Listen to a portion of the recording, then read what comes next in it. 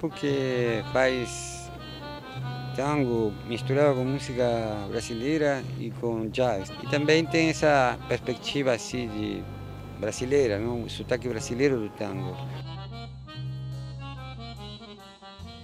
Bom, finalmente reunimos um time que tem o quarteto, não? que tem o Tomás Simprota no piano, Ronaldo Diamante no contrabaixo, Chico Chagas no acordeão e eu, Roberto Rutilhão, na bateria.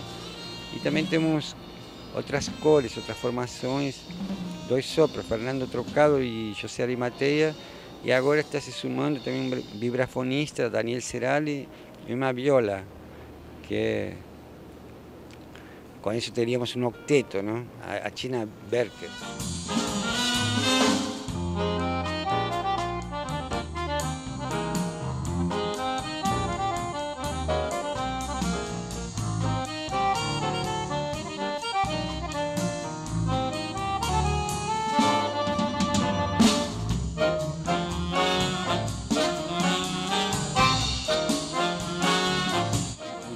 Pacho Repertório es un disco de Piazzolla que él grabó en 1959 en Nueva York y que él detestó y que bueno, él acabó quemando todas las partituras de ese disco.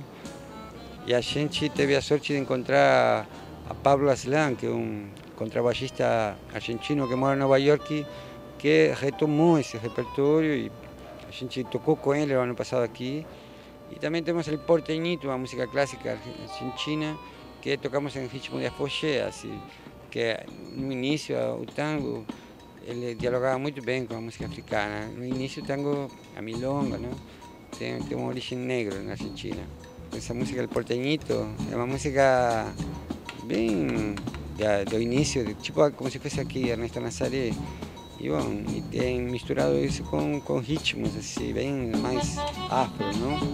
Que, bom, que tanto um, um conteúdo muito bonito a, a música, né?